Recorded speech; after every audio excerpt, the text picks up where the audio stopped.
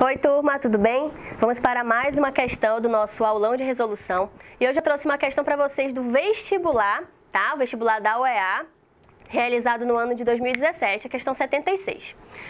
O iodofórmio, né, que tem essa fórmula CH3 CHI3, tá? Esse 3 é um índice que está um pouquinho mais junto aqui, foi um errozinho de digitação. Ele é um componente usado como antisséptico, especialmente da odontologia para o tratamento de canais dentários. Apresenta-se como um sólido amarelo, pouco solúvel em água, tem uma solubilidade a 20 graus Celsius de 0,1 grama por litro, né? O iodoforme ele pode ser usado em laboratório por meio dessa seguinte reação química, com, não, não completamente balanceada, né? Tem alguns índices aqui, alguns coeficientes que precisam ser ajustados.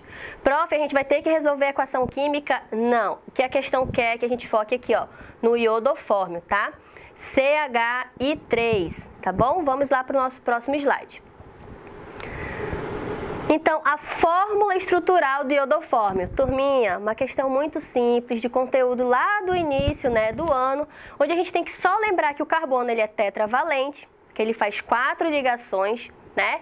E a gente vai lembrar aí com quem ele está se ligando. Ele está se ligando com três átomos de iodo e com um átomo de hidrogênio. Cada um desses átomos com o qual o carbono está se ligando faz somente uma ligação química. Então, respeitando os critérios de tetravalência do carbono e considerando que ele está se ligando com quatro átomos, né? A alternativa mais coerente aí é a letra D. Onde vocês ainda podem ter dúvida inicialmente, talvez seja na C e na E, mas essa dúvida tem que deixar de existir quando você olhar para essa dupla ligação. Você vai ver que nessas duas alternativas o carbono está excedendo aí a quantidade de ligações que ele está fazendo. Então fica incoerente eu achar que a letra C e a letra E estão certas.